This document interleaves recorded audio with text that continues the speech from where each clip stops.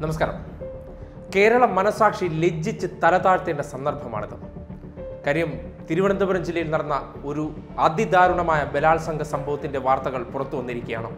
തിരുവനന്തപുരം ജില്ലയിലെ തീരപ്രദേശമായ കഠിനംകുളത്തിന് സമീപമാണ് ഇന്ന് രാവിലെ ഒരു യുവതി മാധ്യമങ്ങളോട് തന്റെ ദുരനുഭവം തുറന്നു പറഞ്ഞത്. ഒരു പക്ഷേ കേരള മനസാക്ഷി ആ വിവരണം കേട്ടാൽ മരവിച്ച് നിൽക്കേണ്ട അവസ്ഥയാണ്. ഭർത്താവും അഞ്ച് സുഹൃത്തുക്കളും ചേർന്ന് ഒരു യുവതിയെ ഒരു രാത്രി മുഴുവൻ പീഡിപ്പിക്കാൻ ശ്രമിച്ചു എന്ന വാർത്ത ക്രൂരമായ ബലാത്സംഗത്തിനിരയായി. അതും സ്വന്തം മകന്റെ കൺമുന്നിൽ വെച്ച്. ഇത്രത്തോളം ദുരിതം അനുഭവിക്കേണ്ടി വന്നത് സാക്ഷരത കൊണ്ട് സമ്പന്നമായ നമ്മുടെ കേരളത്തിലാണ് എന്നതാണ് ഏറെ നാണക്കേട്. മറ്റൊരു കാര്യം കൂടിയുണ്ട്. ഡൽഹിയിലെ നിർഭയ എന്ന പെൺകുട്ടി ബസ്സിൽ ക്രൂര പീഡനത്തിനിരയായതിനു ശേഷം അതിന്റെ പ്രതികളെ തൂക്കിലേറ്റിയിട്ട് ഈ രാജ്യത്ത് അധിക നാളായിട്ടില്ല. അതിന് പിന്നാലെയാണ് കേരളം എന്ന സംസ്ഥാനത്ത് അതായത് സാംസ്കാരിക ബോധം ഏറ്റവും കൂടുതലുള്ള കേരളം എന്ന സംസ്ഥാനത്ത് നിന്നും ഇത്രത്തോളം നാണക്കേടുണ്ടാക്കിയ ഒരു വാർത്ത പുറത്തു വരുന്നത്. ഒരുപക്ഷെ പുരുഷ സമൂഹം ഒന്നടങ്കം ലജ്ജിച്ച് തലതാഴ്ത്തേണ്ട സന്ദർഭമാണിത്. സ്ത്രീകളോട് എങ്ങനെ പെരുമാറണം എന്നത് സംബന്ധിച്ച് പുരുഷ സമൂഹത്തിന് ഇന്നും എന്താണ് എങ്ങനെയാണ് എന്ന് തിരിച്ചറിഞ്ഞൂടാ എന്നതിന്റെ മറ്റൊരു മകുടോ ഉദാഹരണമായി വേണം ഈ സംഭവത്തെയും കാണാൻ. വളരെ സങ്കടകരമാണ് ആ യുവതിയുടെ പ്രതികരണം കേട്ടാൽ. ആ പ്രതികരണങ്ങൾ നിങ്ങളും കേൾക്കണം. ഒരു ഓൺലൈൻ മീഡിയ എന്ന നിലയ്ക്കും ഒരു ഇരയുടെ ദൃശ്യം കാണിക്കാൻ പാടില്ല എന്ന നിയമവ്യവസ്ഥ അതേപടി അംഗീകരിച്ചുകൊണ്ട് ആ സ്ത്രീയുമായി നടത്തിയ ഫോണിൻ സംഭാഷണത്തിന്റെ ശബ്ദരേഖ നിങ്ങൾക്ക് കേൾക്കാം. ഇന്നലെ മൂന്ന് മണിക്ക് എന്നെ ബീച്ചിൽ കൊണ്ടുപോകുന്നെന്നും പറഞ്ഞുകൊണ്ട് കൊണ്ടുപോയതാ. എന്നെയും മക്കളെയും കൂടെ കൂട്ടുകാരന്റെ വീട്ടിൽ പോയതാ. അപ്പോൾ കൂട്ടുകാരന്റെ വീട്ടിന്റെ അടുത്താ ബീച്ച്. അപ്പോൾ അവിടെ ബീച്ചിൽ പോവാന്നും പറഞ്ഞുകൊണ്ട് കൊണ്ടുപോയതാ. കൊണ്ടുപോയി അവിടെ ചെന്നിരുന്ന് എന്റെ ഭർത്താവ് കുടിക്കുകയും മദ്യപിക്കുകയൊക്കെ ചെയ്ത് എന്നെ കൊണ്ടും കഴിപ്പിച്ചു. കഴിപ്പിച്ചിട്ട് ഭർത്താവ് നാലഞ്ച് കൂട്ടുകാരന്മാരെ കൂടെ ഇറങ്ങിയങ്ങ് പോയി. ഞാൻ അവിടെ റൂമിൽ കിടക്കുമായിരുന്നു ഇറങ്ങിയങ്ങ് പോയി. ഈ നാ പോയ നാലഞ്ച് കൂട്ടുകാരന്മാരിൽ രണ്ട് കൂട്ടുകാരന്മാർ വെള്ളം എടുക്കാനെന്ന് പറഞ്ഞുകൊണ്ട് അകത്തോട്ട് കയറി വന്നു. അവിടെ ഒരു ആന്റി ഉണ്ട്. ആ ആന്റി പ്രായം ചെന്നത് അവർക്കൊന്നിനും പറ്റത്തില്ല. അങ്ങനെ വന്ന് എന്റെ തോളിലൊക്കെ പിടിക്കുകയൊക്കെ ചെയ്തു. അപ്പോൾ ആന്റി പറഞ്ഞു മോളെ നീ ഇവിടെ നിന്ന് ഇറങ്ങിക്കോ. യോമാര് ശരിയല്ലെന്ന് പറഞ്ഞു. അപ്പോൾ അതിലൊരുത്തൻ പറഞ്ഞ് ചേച്ചി ചേച്ചിയുടെ ഹസ്ബൻഡ് അവിടെ കിടന്നത് പ്രശ്നം ഉണ്ടായിക്കൊണ്ടിരിക്കുന്നു. വഴക്ക് കിടക്കുകയാണോ? അടി കിടക്കുകയാണെന്ന് പറഞ്ഞു.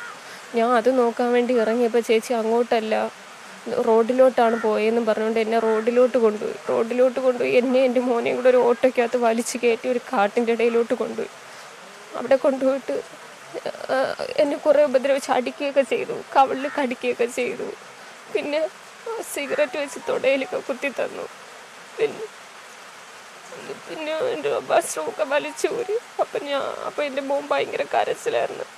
ഞാൻ പറഞ്ഞു മോനെ ഒന്ന് ഞാൻ റോഡിൽ എത്തിച്ചിട്ട് വരാം. എന്നെ ഒന്ന് റോഡിലോട്ട് വിടെന്ന് പറഞ്ഞു. മോനെ ഞാൻ കൊണ്ട് വീട്ടിലാക്കാം എന്ന് പറഞ്ഞു. അപ്പം ഞാൻ പറഞ്ഞു ഞാനും കൂടെ വരാം. ഒന്ന് വീട്ടിലാക്കിയാൽ ഞാൻ നിങ്ങളുടെ കൂടെ വരാമെന്ന് പറഞ്ഞു. മോനെയും കൊണ്ട് റോഡിലോട്ട് ഞാൻ പോയി. ഇവരടുത്ത് ഇങ്ങനെ പറഞ്ഞിട്ട് ഇവരെന്റെ ബാക്കിൽ നിന്നുണ്ടായിരുന്നു റോഡിലോട്ട് കയറിയത് ഒരു ബൈക്കുകാരൻ വന്നു. അപ്പം ഞാൻ അയാളടുത്ത് എന്നെ കൊല്ലാൻ വേണ്ടി കൊണ്ടുവന്നതാണ് എന്നെ ദേഹോപദ്രവമൊക്കെ ചെയ്യാണ്. ഒന്ന് പോലീസ് ഒന്ന് ഏതെങ്കിലും വണ്ടി ഓടിച്ച് എന്റെ വീട്ടിൽ എത്തിക്കുമെന്ന് ചോദിച്ചു. അപ്പോൾ അവർ ഒരു കാറ് കാറിന് തടഞ്ഞു നിർത്തിയിട്ട് കാറിൽ എന്നെ വീട്ടിലെത്തിച്ച്. എന്റെ അടിവശ പേന്റും എല്ലാം അവിടെ കിടക്കുകയാണ്. ആ കാട്ടിന്റെ ബാഗ് മൊബൈൽ എല്ലാം നഷ്ടമായി എല്ലാം നഷ്ടമായി മോനെ അവർ കുറേ ഉപദ്രവിച്ചു. മോനെ തൊടയിലൊക്കെ അടിച്ചെന്നൊക്കെ പോവും പറയുന്നത്. എത്ര ക്രൂരമാണ് ആ സ്ത്രീയോട് ഈ നീചന്മാർ ചെയ്തത്? ഇവർക്ക് മനസാക്ഷി എന്നൊരു സംഭവമുണ്ടോ? എത്ര മണിക്കൂർ അല്ലെങ്കിൽ ആ പിഞ്ചു കുഞ്ഞ് നോക്കി നിൽക്കെ. അതിന്റെ അമ്മയോട് ഈ നീതികേട് കാണിക്കണമെങ്കിൽ ഈ നരാധമന്മാരെ മനുഷ്യരെന്ന് പറയാൻ കഴിയുമോ? അതിൽ ഭർത്താവും പങ്കാളികളായിരിക്കുകയാണ്. ആ സ്ത്രീ വിവരിച്ചതിന്റെ അടിസ്ഥാനത്തിലാണെങ്കിൽ രാവിലെ കഠിനംകുളത്ത് ബീച്ച് കാണാൻ പോകാമെന്ന് പറഞ്ഞ് പ്രലോഭിപ്പിച്ചാണ് സുഹൃത്തിന്റെ വീട്ടിലേക്ക് ഈ പെൺകുട്ടിയെ എത്തിക്കുന്നത്. രണ്ട് ദിവസം തുടർച്ചയായിട്ട് കൊണ്ടുപോകുന്നു. നിർബന്ധിച്ച് മദ്യം കഴിപ്പിക്കുന്നു. ഇയാൾ ഒരു മനുഷ്യനാണ്. ഇയാളും ഒരു ഭർത്താവാണെന്ന് പറയുന്നതിൽ കേരളം ഇനിയും ലജ്ജിക്കണ്ടേ? ഇയാളുടെ പ്രവർത്തനങ്ങൾ ആ യുവതിയുടെ വാക്കുകളിൽ നിന്ന് കേട്ടാൽ പുരുഷ സമൂഹത്തിന്റെ തൊലിയുരിയുന്ന അവസ്ഥയാണുള്ളത്.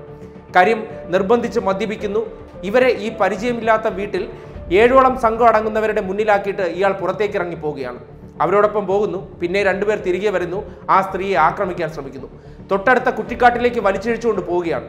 അവിടെ ചെന്ന് പിഞ്ചു കുട്ടിയുടെ മുന്നിലിട്ട് ഡ്രസ് ഉൾപ്പെടെയുള്ള എല്ലാം വലിച്ചു കീറിയതിനു ശേഷം ക്രൂരമായ പീഡനത്തിനിരയാക്കുന്നു ആദ്യം ശാരീരികമായ പീഡനം. മുഖത്തടിക്കുന്നു. സിഗരറ്റ് തീ കൊണ്ട് ആ സ്ത്രീയുടെ തുട പൊള്ളിക്കുന്നു. എന്തൊരു മനോവൈകൃതമാണ് ഇവർ കാട്ടിക്കൂട്ടിയത്. ഒരു മനുഷ്യ ശരീരത്തിനോടാണല്ലോ നിങ്ങൾ ഈ ക്രൂരത കാട്ടിക്കൂട്ടിയത്. എന്തിന്റെ പേരിൽ? ഇതാണോ ലൈംഗികത?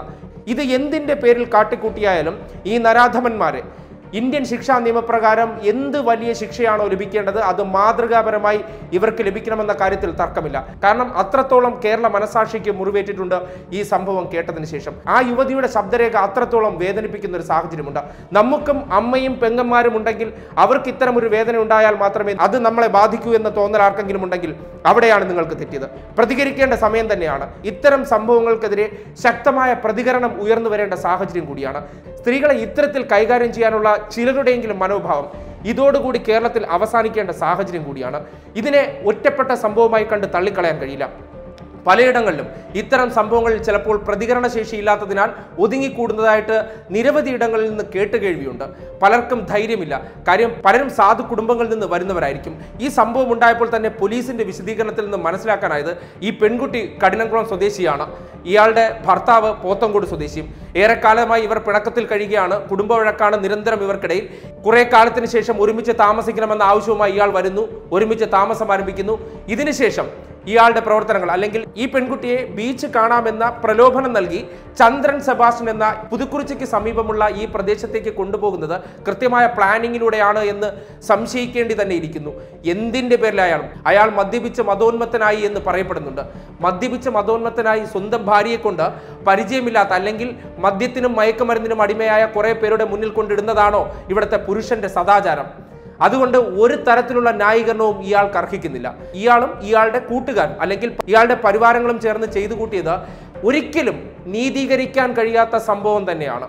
പോലീസ് കർശനമായ നടപടികൾ സ്വീകരിക്കുന്നതായാണ് നമുക്ക് ലഭിച്ച വിവരവും. അതിന്റെ അടിസ്ഥാനത്തിൽ തന്നെയാണ് മുന്നോട്ട് പോകുന്നത്. കാര്യം വനിതാ കമ്മീഷൻ ഉൾപ്പെടെയുള്ളവർ ഈ വിഷയത്തിൽ അടിയന്തര ഇടപെടൽ നടത്തിയിട്ടുണ്ട്. ആ പെൺകുട്ടിയെ വനിതാ കമ്മീഷൻ അംഗം ഇന്ന് സന്ദർശിച്ചിട്ടുണ്ട്. അപ്പോൾ എന്തായാലും അതിന്റെ അടിസ്ഥാനത്തിൽ സർക്കാർ സംവിധാനങ്ങളിൽ വീഴ്ചയുണ്ടാകുമെന്ന് തോന്നുന്നില്ല. പക്ഷേ പിന്നീട് ഇത് കോടതികളിൽ പോകുമ്പോൾ ഇവിടുത്തെ പ്രോസിക്യൂഷൻ വിഭാഗവും മറ്റുള്ളവരും ഇപ്പോൾ എറണാകുളത്തുണ്ടായ പോലെയുള്ള സംഭവങ്ങൾ ആവർത്തിക്കപ്പെടാൻ പാടില്ല എന്നുള്ളതാണ് പറയാനുള്ളത്. കാര്യം ഈ വിഷയത്തിൽ കേരള മനസാക്ഷിക്ക് തന്നെ ഉൾക്കൊള്ളാൻ കഴിയാത്ത ചില സന്ദർഭങ്ങൾ ഈ അടുത്ത ദിവസം ആലപ്പുഴയിൽ ക്രൂര പീഡനത്തിനിരയാക്കി ബലാത്സംഗം ചെയ്തു കൊന്ന പ്രതിക്ക് ഹൈക്കോടതിയിൽ നിന്ന് തെറ്റിദ്ധരിപ്പിച്ച് ജാമ്യം ലഭിച്ച നാടാണിത്. അത്തരമൊരു സന്ദർഭം ഈ വിഷയത്തിൽ ഉണ്ടാകാൻ പാടില്ല എന്ന് തറപ്പിച്ച് പറയേണ്ടിയിരിക്കുന്നു. ഈ വിഷയത്തിന്റെ കഥകൾ ആ പെൺകുട്ടി പറഞ്ഞതിൽ നിന്ന് തന്നെ നമുക്ക് മനസ്സിലാക്കാം. അതിൽ കൂടുതൽ വിശദീകരണങ്ങളുടെ ആവശ്യങ്ങളൊന്നുമില്ല. പക്ഷേ നമ്മുടെ വീട്ടിലെ പെൺകുട്ടികൾ ഇത്തരത്തിൽ ഇനി ആക്രമിക്കപ്പെടാൻ പാടില്ല എന്ന് ഓരോ വ്യക്തികളും അവരുടെ ഉള്ളിൽ തീരുമാനമെടുക്കേണ്ട സമയമാണ്. കേരളത്തിന്റെ മനസാക്ഷിയിൽ ഇത്തരം സംഭവങ്ങൾ ഇനി കോറിയിടേണ്ട സാഹചര്യം ഉണ്ടാകരുത്. അതിനെ ചെറുക്കണം ചെറുത്ത് തോൽപ്പിച്ചേ മതിയാകൂ.